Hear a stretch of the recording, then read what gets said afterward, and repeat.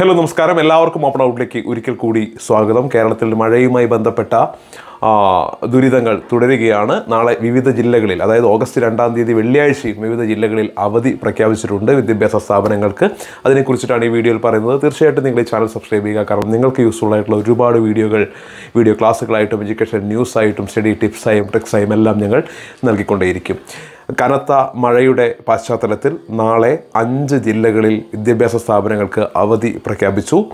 കോഴിക്കോട് കണ്ണൂർ മലപ്പുറം തൃശൂർ കാസർഗോഡ് ഈ അഞ്ച് ജില്ലകളിലാണ് ഇപ്പോൾ അവധി പ്രഖ്യാപിച്ചിരിക്കുന്നത്. ഞാൻ ഈ വീഡിയോ ചെയ്യുന്നത് ഓഗസ്റ്റ് ഒന്നാം തീയതി വൈകിട്ട് ഏഴ് മുപ്പതിനാണ്. ഇതുവരെ പ്രഖ്യാപിച്ചത് അഞ്ച് ജില്ലകളിലാണ്.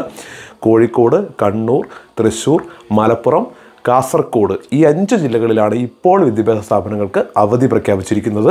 ഇതിപ്പോൾ തുടർച്ചയായിട്ട് നാലാം ദിവസമാണ് ഈ ജില്ലകളിലൊക്കെ സ്കൂളുകൾക്ക് അവധി പ്രഖ്യാപിക്കുന്നത്. തീർച്ചയായിട്ടും മറ്റ് ജില്ലകളിലും അവിടുത്തെ വിവരങ്ങൾ കൂടി ഇനി വരാനുണ്ട്. ഇതുവരെ പ്രഖ്യാപിച്ചത് ഇത്രയും ജില്ലകളിലാണ്.